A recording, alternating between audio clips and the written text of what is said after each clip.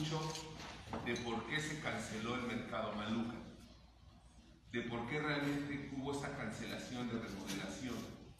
Lamentablemente Sedatu, en su nota informativa firmada por nadie, no nos dijo nada. Dice, pues no la voy a hacer por diversas cuestiones, por diversos amparos, por diversos motivos que se hicieron. Dije, pero todo, todo hay que pedirlo de manera legal. Sedatu ya nos informó por qué no se hace la obra realmente.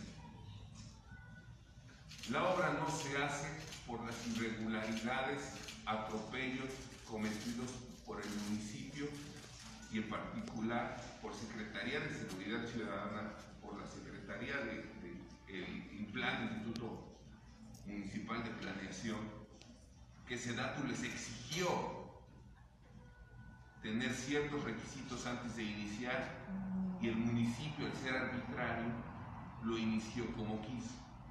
Es cuando entramos nosotros como abogados a defender a familias, porque algo que me gustó del mercado es eso, que son familias trabajadoras, que no son una agrupación, no son una organización eh, violenta, no.